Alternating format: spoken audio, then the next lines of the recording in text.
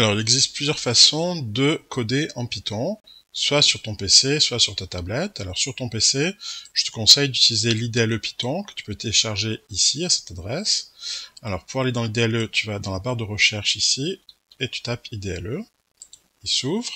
Alors, ça, c'est la console. Nous, ce qu'on veut, c'est un fichier, un nouveau fichier. Donc, soit tu fais File, New File, ou alors tu tapes sur CTRL-N, ce que je vais faire, pour avoir un nouveau fichier. Donc ça, c'est la première méthode. Alors allons-y, on va commencer par faire l'exercice numéro 1 de ton devoir maison. Alors on te dit compléter la définition calculaire qui permet euh, de retourner l'aire d'un champ rectangulaire en fonction de sa longueur et sa largeur. Donc on a def pour définition, calculer l'aire, c'est le nom de notre fonction. On a besoin de longueur et largeur comme paramètres, comme variable.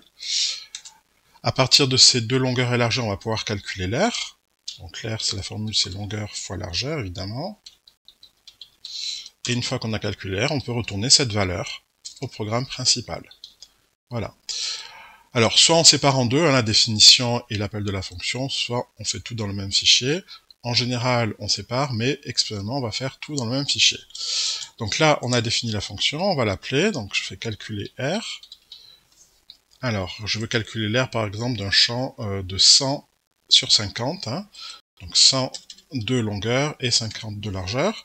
Alors comme c'est une fonction qui retourne quelque chose, une valeur, l'air, il va falloir stocker cette valeur. Donc dès que j'appelle la fonction, je mets un égal pour stocker la valeur de l'air. Et là, je vais l'appeler l'air du champ, de mon champ, hein, qui fait 100 sur 50. Voilà, et du coup, je peux afficher, je fais un print de l'air de champ. Voilà, je peux même euh, mettre R de champ, et puis mètre carré si je veux rajouter le petit texte. Voilà. Alors c'est parti, je peux exécuter, donc d'abord il faut sauvegarder. Donc je le mets dans... Donc je viens de le mettre dans Bureau, je crée un nouveau dossier, je l'appelle euh, euh, devoir ou DM comme devoir maison. Ok, je le mets dedans. Et le nom du fichier, je l'appelle devoir. Voilà, j'enregistre. Et maintenant, je peux exécuter F5. Voilà, il s'affiche bien 5000 m2, puisque 100 fois 50, ça fait bien 5000. Ok, donc maintenant, ça c'était la première méthode. Deuxième méthode, je vais donc euh, faire ça dans Visual Studio Code. Donc pour aller dans Visual Studio Code, il faut le télécharger sur son PC. Hein. Donc pas sur tablette, ça ne marche pas. Donc tu vas sur ce site-là. Tu cliques dessus, tu l'installes, et ensuite tu vas avoir ce logiciel, Visual Studio Code. Donc là, ce que je fais, c'est que je viens chercher mon euh, dossier, voilà, devoir maison. Alors je le glisse ici, tu vois. Oui, je fais confiance aux auteurs. Et alors là, à l'intérieur, je viens créer mon fichier que j'appelle euh, devoir, par exemple, .py, ok.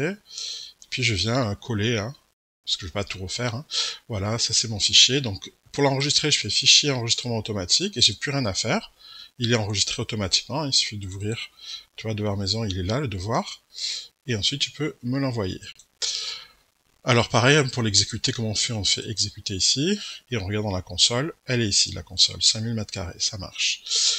Alors, troisième façon de faire, on va utiliser donc la tablette, on va aller sur ce site, Microbit.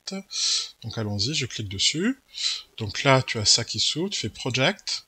Euh, si tu veux l'avoir en français, tu peux l'avoir en français. Il suffit de mettre ici langage et de mettre ici français. Voilà, et du coup on a projet. Donc là on a notre fichier principal, alors tout ça on peut l'enlever, on n'a pas besoin. Donc encore une fois, ça on utilise un fichier principal et un fichier de, de module, hein. donc on peut créer un deuxième fichier. Soit on met tout dans le même fichier, donc là pour l'instant je vais tout mettre dans le même fichier. Voilà, définition calculage, etc., etc., euh, calculer l'air. Et pour exécuter, c'est très simple, il suffit de cliquer sur ce bouton, hein, et le terminal ou la console se trouve ici. Donc il suffit de remonter un petit peu avec le... Voilà, je remonte un tout petit peu, et il y a marqué 5000 mètres carrés, encore une fois. Alors pour enregistrer, tu iras ici, tu fais enregistrer, tu lui donnes un nom, par exemple devoir, hein, confirmer enregistrer. Alors il s'enregistre en général alors, sous le format, non pas Python, mais sous le format EXE, c'est pas grave, hein, tu le laisses comme ça. Donc tu fais afficher dans le dossier, tu vois, il se trouve toujours dans, ici dans téléchargement, et c'est ce fichier que tu m'envoies. Autre euh, dernière, façon de faire, donc, c'est avec la tablette, donc on va ici sur en ligne, hein. donc tu cliques là-dessus, online Python, et là c'est la même chose, hein. on vient écrire notre code. Voilà, j'écris mon code. Je fais un run pour l'exécuter. Je fais run pour l'exécuter. Et ça affiche bien 5000 mètres carrés. Pour le sauvegarder, très simple, j'appuie sur la disquette. Voilà, je lui donne un nom, main.py ou devoir si je veux. .py et je sauvegarde. Pareil, j'affiche dans le dossier, il se trouve ici dans téléchargement, je le recopie, je le mets sur Pronote. Voilà les quatre façons de faire euh, un fichier Python. À toi de jouer. Alors, si, tu veux séparer en deux les fichiers, hein, la définition d'un côté et l'appel de la fonction de l'autre, tu crées un nouveau fichier, tu l'appelles, euh, par exemple, un py. Donc la définition, je l'enlève d'ici, hop, je la mets ici, voilà, et là, je viens importer définition. Donc, from définition, import étoile. Voilà, donc on réexécute, hein. tu vois que ça marche de la même façon. Donc pareil, hein, tu enregistres euh, ici.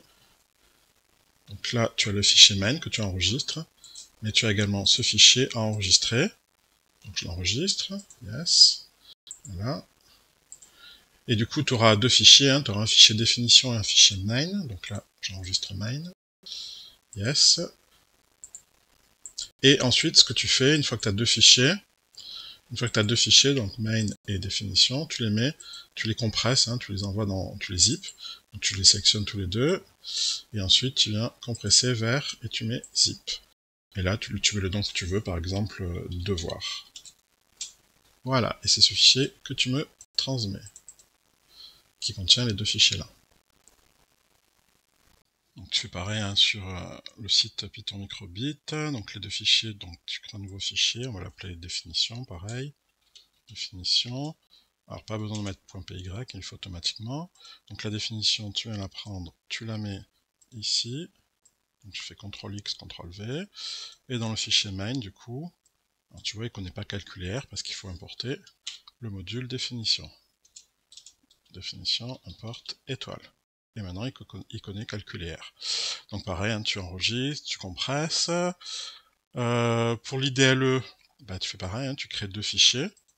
Donc là, si on revient ici sur l'IDLE, là on n'avait qu'un seul fichier, donc tu crées un nouveau, tu fais CTRL N pour créer un nouveau fichier. On va séparer en deux, ce sera plus simple. Tu la mets ici, ok, et là tu viens importer from euh, définition import étoile. Alors ce fichier on l'a pas renommé, il va falloir le sauvegarder. On va l'appeler euh, définition. Définition. Ok. Donc pareil dans Visual Studio Code, le fichier je peux le séparer en deux, il suffit de... Je crée ici un fichier qui s'appelle définition. .py, là je peux le mettre. Je vais mettre ici ma définition, j'enlève, CTRL X, je la mets euh, ici. Voilà.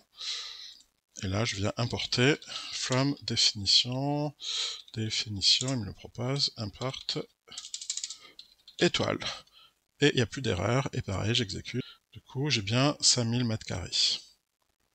Donc plein, plein, plein de façons de faire la même chose.